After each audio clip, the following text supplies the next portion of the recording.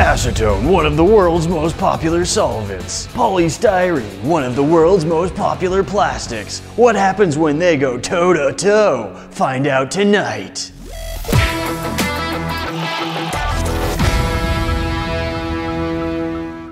Acetone is a common solvent. Polystyrene is easily dissolved. We want to see how much and how fast we can dissolve this stuff in acetone. Guys, in the past, you watched us melt a Millennium Falcon, which contaminated a lot of acetone. We still have a lot of acetone left. Like a lot of acetone left. Here's the basic idea. We've got lots of polystyrene we've got lots of acetone. We're gonna see how much of the polystyrene can dissolve into that acetone and then try out some creative ways of combining the two. Guys, acetone is a very popular solvent, and in fact, it's a very popular nail polish remover when it's diluted. So you've probably seen how effective it is when it takes off nail polish or even paint. We wanna show you what it does when it melts down different types of polystyrene. Usually you refer to it as styrofoam. Technically, styrofoam is a brand name of one type of extruded polystyrene. That's a closed cell type of foam. It's used for insulation, building materials, and a few other things like that. It's become a pretty common term to describe any extruded or expanded polystyrene. These things happen. Regardless of what it's called, we're gonna melt some of it.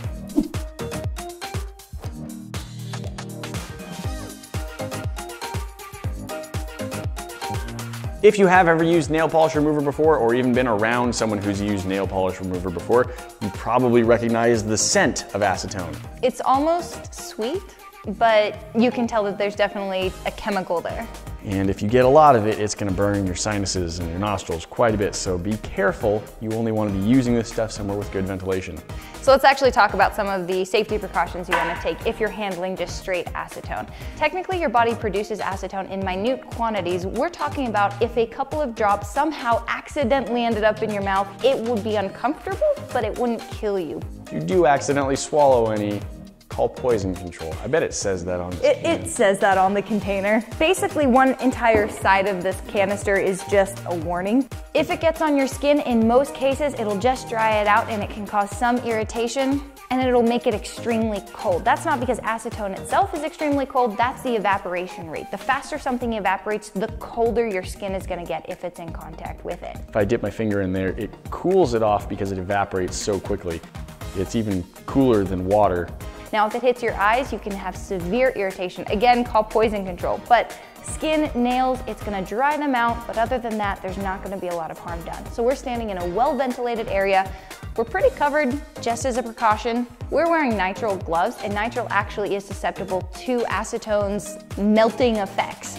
So if you were to leave this glove in there, as you probably have seen in our Lego video, they would just fall apart. So short amount of time, you're fine, but not for too long.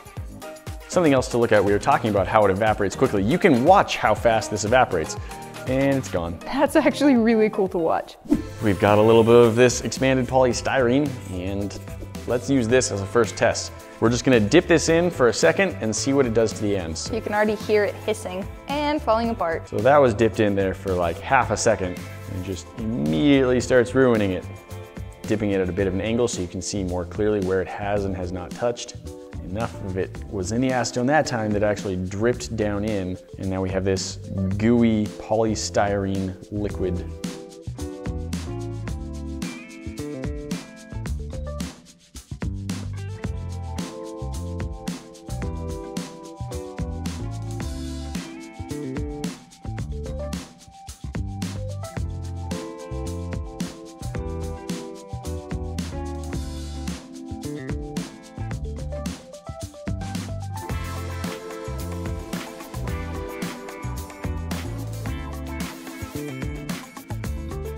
that's what's left. That whole brick that I had has now just been dissolved into this liquid white goop. You can actually see that underneath the melted plastic, Nate's gloves are also falling apart. It just like loses its cohesion and is starting to like expand a little bit. Whereas on this hand, the gloves are fairly tight fitting. On this hand, everywhere that I've been putting in the acetone, it's, it's just loose and hanging off now. All right, that was awesome, but I think we need to scale that up a little bit.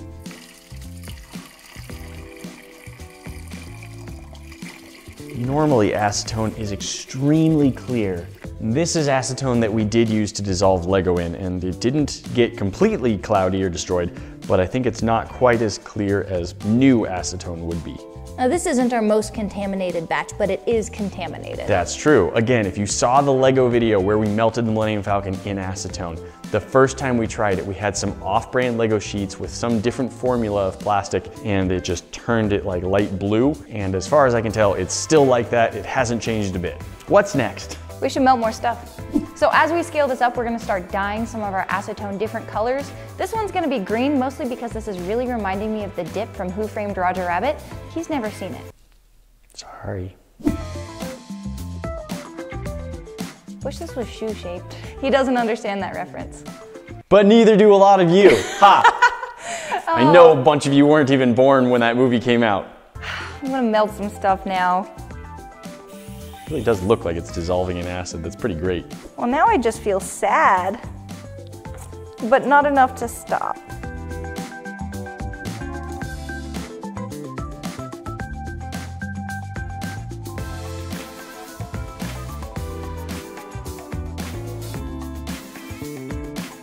I can actually watch it just as he's pushing it down, just it feeding up.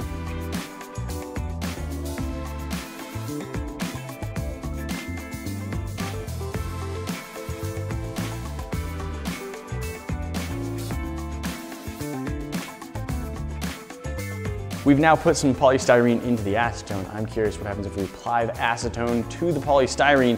We've got a couple methods we want to try. Coming up is the spray bottle. Polystyrene, we're using expanded and extruded polystyrene. There is also non-extruded polystyrene, and that's usually in the form of a thin plastic. Many plastic cups. If you have a white plastic cup, there's a good chance that that is polystyrene. You'll be able to tell by looking on the bottom, and if inside a little triangle about recycling, it says PS, that's for polystyrene. Don't put acetone in one of those cups, you'll dissolve it. This is HPDE, it does not dissolve in acetone.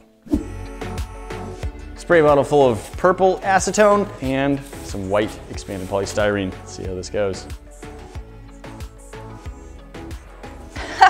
you can definitely see the spray pattern of this bottle. A new way to make cosplay armor or decorate anything out of foam. This is awesome.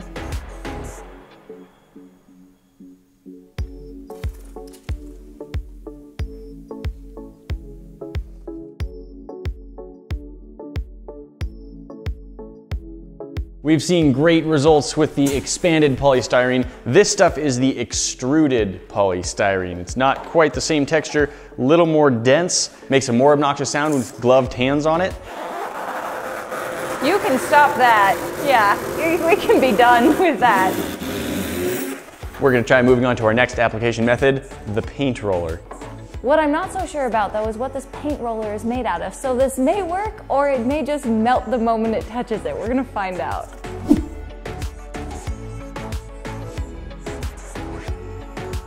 It's really not rolling very well anymore. Spreading. Wow. Well, whatever this paint roller is made out of, it is very resistant to this stuff. Let's try an actual clean roll. This isn't a very good paint roller. So the interesting thing is the acetone's evaporated so fast that this is almost solid again. Like it's squishy, but it's not sticking to my fingertips.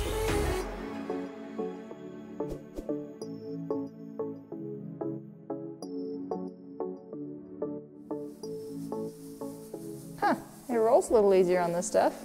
The acetone is absolutely eating away at the expanded polystyrene more so than the extruded polystyrene. So that's kind of interesting. I want to do a side by side.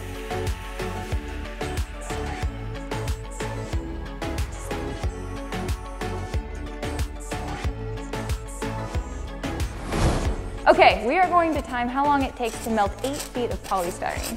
See which one goes faster and how long each one takes. First, establish the rules. We cannot push our pieces down. We are simply here to steady them.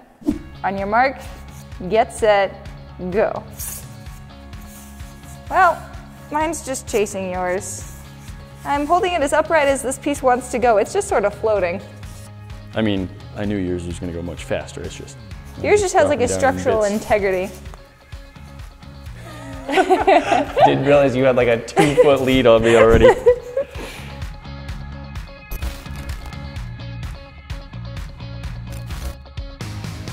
Well, this was a fun game.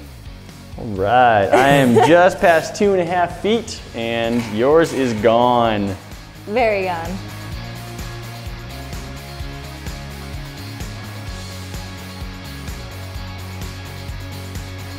At this point, your piece has actually started to change the color of our dyed acetone. Like it started out reddish, now it's kind of got a bit of a purple tone to it.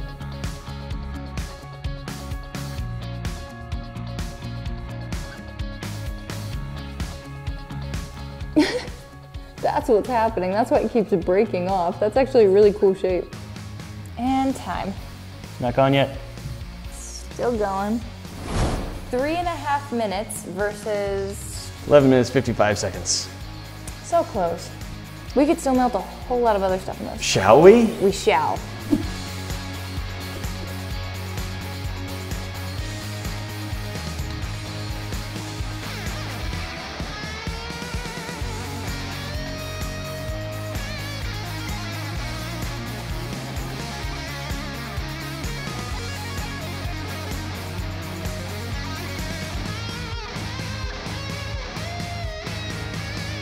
Guys, that's not all. We've always got more for you to see. That box up at the top is going to take you directly to our last video. You should go check that out. The other box is going to show you what YouTube thinks you should be watching next. And if you're not subscribed to the channel yet, hit this bomb to get in the club so you never miss out on a cool video. Don't forget to ring that bell and we will see you in the next one. Talk to you then.